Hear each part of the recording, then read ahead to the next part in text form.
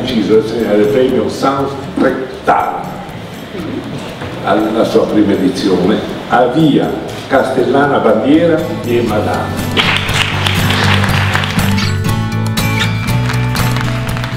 E questo premio ci dà dire, uno stimolo in più a continuare